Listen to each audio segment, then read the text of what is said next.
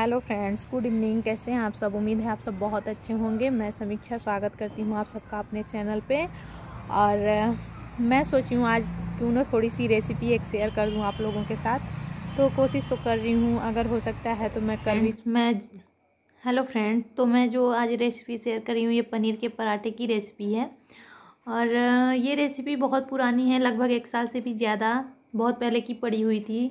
तो अचानक मुझे दिखी तो मैं सोची हूँ, आज मैं इसी रेसिपी को शेयर कर देती हूँ। तो पनीर का पराठा बनाने के लिए मैंने ले लिया है आटा और आटे में डाल दी हूँ स्वाद के अनुसार नमक। नमक डाल के मैं बिल्कुल ही सॉफ्ट आटा, बिल्कुल मुलायम सा जैसे हर पराठे के लिए बनाते हैं, आलू के पराठे के लिए। उसी प्रकार से मैं आटे को लगा लूँगी और आटे को लगाने के बाद मैं रख दूँगी थोड़ी देर के लिए रेस्ट के लिए। जब तक आटा सेट हो जाएगा अच्छे से, तब तक मैं तब तक मैं तैयार कर लूँगी पनीर पनीर का मसाला भरने के लिए पराठे में। और ये रहा पनीर, ये घर का बना पनीर है। और ये मुझे लगता है हाफ़ के जी से ज़्यादा ही होगा। और इसको मैं अच्छी तरीके से फोड़ लूँगी। जिन लोगों से नहीं, ये हाथ से अच्छे से नहीं हो पाता है, वो लोग घिस के कर लेते हैं।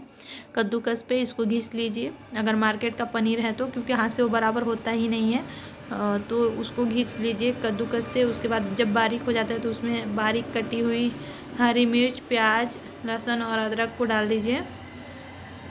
अगर आप जितना बारीक काट सकते हैं, उतना ही काट लीजिए, क्योंकि पराठा फटे ना, पराठा अगर फटता नहीं है तो और भी ज़्यादा सॉफ्ट हो जाता है। और इसमें सूखे मसाले भी पड़ेंगे, जिसमें नमक और लाल मिर्च, गरम मसाला है। और बस इसी तरीके से मैं उसको अच्छे से मिला लूँगी।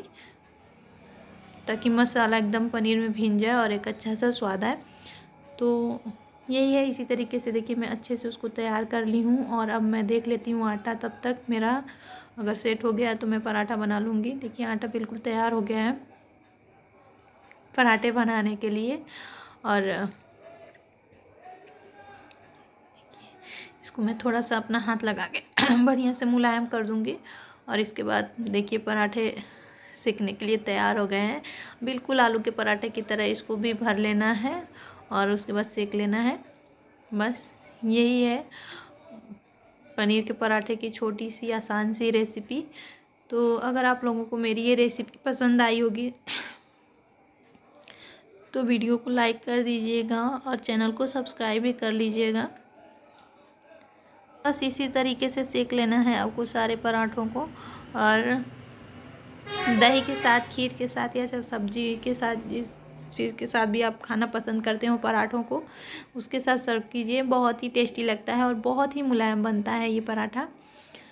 तो उम्मीद है आप लोगों को मेरी ये वीडियो पसंद आई होगी और आगे से मैं सोच, आगे से मैं चाहती हूँ कि मैं अच्छे अच्छे ब्लॉग्स बनाऊँ।